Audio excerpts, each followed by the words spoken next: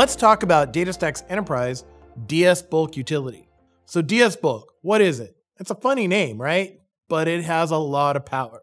So what is DS Bulk? It's pretty much a big import tool, a really good import tool, specifically built for DataStax Enterprise.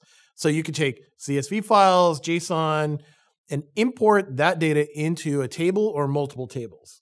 And it's all a command line interface tool, which makes it really easy to use when you're using it say, a cron job or something like that. It was built out of this idea that we need to get data into this database. How do you do it efficiently?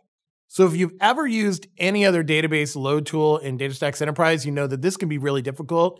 Things like SS Table Loader can be really difficult to work with over time. Sometimes you just have a file and you want to get it into the database. And taking data out can be hard too. Using the copy command isn't exactly the best for the largest bits of data. So if you have terabytes of data, you're not going to use copy. If you use gigabytes of data, you're not going to use copy. So what do you use?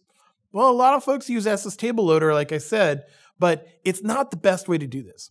Bulk Loader solves a lot of those problems, and it is built around this idea that you will have to load a lot of data. So, what are some of the use cases?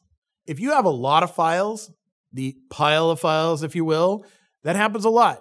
You get data from some data source that may be ordered by day and you have multiple files. How do you get them all into the database? How about that one time load where you need to bring something into production from maybe a migration also, a developers, if you need to load data from a different data source to start working with it, it's a good tool for that. And then even like as a backup. So let's say you have a table that you want to just quickly back up. You can unload that table into a file and store it away. Maybe it's static data or something like that. That's a good use case. And then finally, what if you have a change in data model? Changing data models means that you need to reload your data.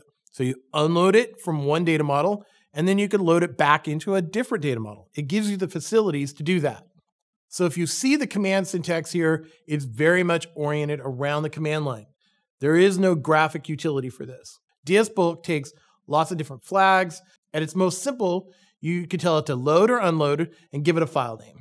In this example, you can see I'm going to load a file from a CSV and I'm going to load it into a keyspace one, table one. That's it. Real easy.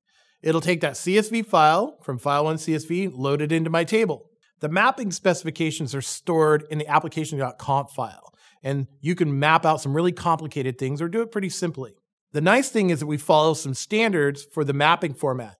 It's the familiar HOCON format, which you can go out and find in a lot of places. It's not just specific to DS Bulk. So this should be a good overview of how to use it.